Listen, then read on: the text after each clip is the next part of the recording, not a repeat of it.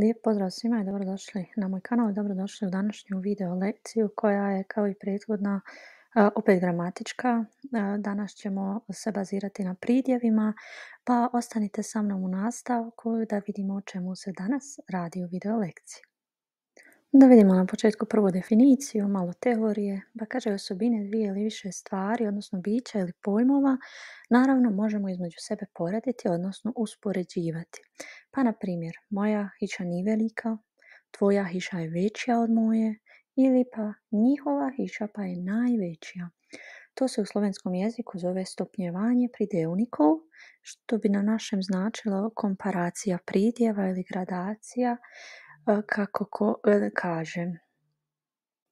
Pa da vidimo koje vrste komparacije poznajemo, odnosno stopnjevanje pridevnikom ili stupnjevanje, to ja mislim da je hrvatski izraz, gradacija, koliko znam je srpski, a u Bosni mi kažemo komparacija pridjeva. Pa kaže, poznata nam je dvostepena i trostepena komparacija pridjeva u slovenskom jeziku, E, kod dvostepene komparacije osim osnove poznajemo i elativ koji se tvori sa prefiksom pre ili sa prilozima. E, oblici trostepene gradacije, odnosno komparacije su osnova, komparativ i superlativ. To je ona e, komparacija koju mi poznajemo u našem jeziku i koja je, mislim, svima opšte poznata. Krenut ćemo sa tristupinjsko stupnjevanje pridevnikov, odnosno komparacija koja ima tri stupnja poređenja i to je ona koja je poznatija i koja se više upotrebljava. Pa, kao što sam već rekla, oblici trostepene komparacije su pozitiv, komparativ i superlativ. Tvore se sa dodavanjem nastavaka ili priloga. To je opisna komparacija, znači upisujemo nešto, pa vidjet ćemo u nastavku šta to tačno znači. Idemo još teorije, ali stvarno mislim da je bitno da saznamo i ove definicije, da prođemo kroz njih tako da jednostavno imate osnovu, odnosno da znate od početka tačno šta za šta se misli, na šta se misli, da i tako se izrazim. Pa znam da je definicija da je teorija dosadna, da tako rečemo i da nije je ugodno slušati, ali probajte stvarno sa razumijevanjem da to pročitate ili da mene poslušate, pa ćemo kasnije vidjeti kroz primjere šta to tačno znači, odnosno iz ove definicije ćemo izvući primjere, pa će biti svima, ja mislim, puno i zanimljivije i lakše. Pa kaže pozitiv na slovenskom jeziku je osnovnik. To izražava znači osnovnu osobinu koja nije ni po čemu bolja ili slabija od neke druge. Pa imamo primjer napisala je dolgo sporočilo, odnosno napisala je dugu poruku.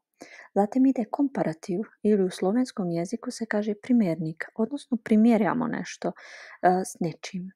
Koristimo ga za upoređivanje, na primjer, jedne osobine imenice s drugom. Pa kaže, danes je napisala daljše sporočilo kod učeraj. Hm, znači, nije sad, uh, upoređuje tu pismo koje je danas napisala sa onim od juče. Juče je, bio dol, juče je bilo dolgo sporočilo, danas je daljše sporočilo kod učeraj i imamo e, superlativ, pod slovenski je to presežnik, odnosno nešto kao uveličano preseženo, tako da rečemo. E, sa njim kažemo da neka osobina premašuje neku drugu. Pa imamo primjer, kaže danas je napisala najdaljše sporočilo do sedaj. Znači, prvi dan je napisala dolgo sporočilo, pa je zatim napisala daljše sporočilo, ali danas je napisala najdaljše sporočilo do sedaj. Znači, do sedaj, do sada. Pri formiranju komparativa, odnosno slovenskog primjernika, koristimo sufikse ši, ji, ejši, pa primjeri sa ši, lepši, mlajši, krajši, sa ejši je novejši, temnejši, svetlejši. I imamo ji, kaže viši, draži, nižiji. Pa ovdje vidimo opisni pridjevi se upoređuju na dva načina. Kao što smo već imali u prethodnim minutama sa dodavanjem nastavaka, odnosno po slovenski su to obrazili, pod naši to mogu biti prefiksi ili sufiksi, pa imamo lep, lepši, najlepši. Zatim se riječima, odnosno s prislovi pod slovenski, bolj i najbolj, i manj i najmanj. Znači vidimo primjere sa bolj i najbolj, kaže zdrav, bolj zdrav, najbolj zdrav. I zatim imamo drugo, druge primjere sa manj i najmanj, kaže znan, manji znan i najmanji znan. Ovo do sad je bila trostepenska e, komparacija pridjeva. Sada vidimo kako izgleda dvostepena komparacija ili podslovenski dvostepensko stupnjevanje pridjevnikov. Kompariramo na sljedeće načine. Pod broj 1 s obrazilom, odnosno sa prefiksom pre. Pa imamo osnovnik je lep, elativ je prelep. Znači, ne mijenja se glavni pridjev, samo se dodaje taj prefiks. imamo samo dva oblika, zato se zove dvostepensko, odnosno dvostupenjsko stupnjevanje. imamo samo osnovnik i elativ, to smo rekli na početku u definicijama. Zatim drugi način na koji kompariramo je s prislovom, odnosno s prilogom. Pa osnovnik je, na primjer, pametan, Elativ je nad sve pametan, kao izrazito pametan. Imamo taj prilog. Pa slovenska gramatika kaže da se preporučuje da se pridjevi konjugiraju sa dodavanjem prefiksa ili sufiksa, a sa dodavanjem priloga samo kada ne ide drugačije. Znači bolje je da konjugiramo, dodajemo na pridjeve prefiks e, pre ili nastavke šije i šiji ili koje već, a pridjevi koji ne mogu drugačije, što vidimo dole koje, u kojim to slučajevima e, ide, znači onda se dodaju prilozi. Pa kaže pridjevi, odnosno riječi, nisu samo pridjevi jer boje, na primjer, nisu pridjevi, one su riječi za sebe, ali se ne mogu konjugirati sa dodavanjem prefiksa, sufiksa su, odnosno sufiksa su boje, stanja, zatim riječi koje završavaju na n, ši, ji, eši, av, ast, at. Imamo dole primjer za boju, kaže rdeć, pa drugi je komparativ je superlativ je najbolj rdeč. Znači ne možemo reći rdeč, rdečejši, najrdečejši ili kako bi već, znači ne. Nego se glavni, glavna riječ, odnosno pridjev se ne mijenja, samo se dodaju riječi.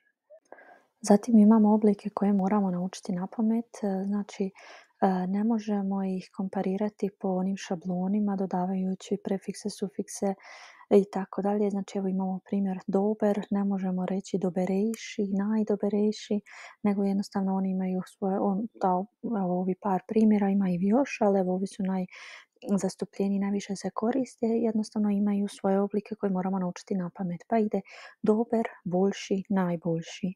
Potem pa sladek, slajši, najslajši.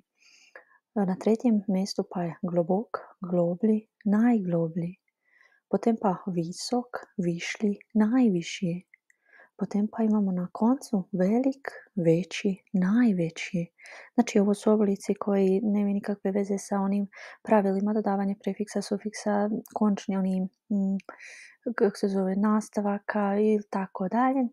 Jednostavno ovo ovako naučimo i to je to. Mada mislim da većina je poznata ovih oblika i u našem jeziku je dobar, bolji najbolji i tako dalje, mislim da neće biti problem.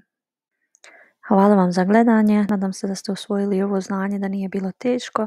Ako vam je lekcija bila od koristi, pretplatite se besplatno na kanal, lajkajte, komentaršite, podijelite i želim vam puno sreće pri učenju slovenskog jezika.